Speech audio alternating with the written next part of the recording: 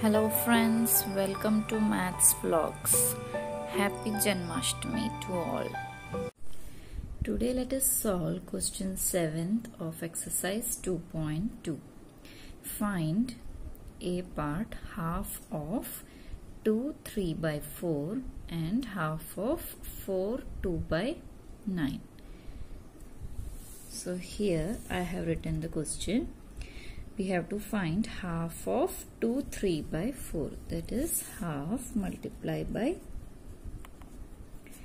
2 3 by 4 that is equal to half into 4 2s are 8 plus 3 that is 11 by 4 so we get 11 into 1 11 by 2 into 4 8 now 8 ones are 8 remainder 3 by 8 so this is the mixed fraction.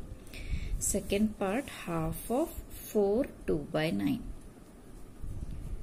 half of 4 2 by 9 so half into 9 fours are 36 plus 2 38 by 9 that is equal to 38 by 2 into 9 18 so we can divide it by 2 we can cancel here. 2 nines are 2 19 so 19 by 9 that is equal to 9 so 18 2 1 by 9 is the answer.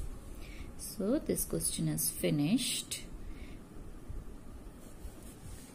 Now B part is there 5 by 8 of 3 5 by 6 and 9 2 by 3. This one you can try it. If you have any doubt then ask in the comment box. Thanks for watching. Please like, share and subscribe my channel.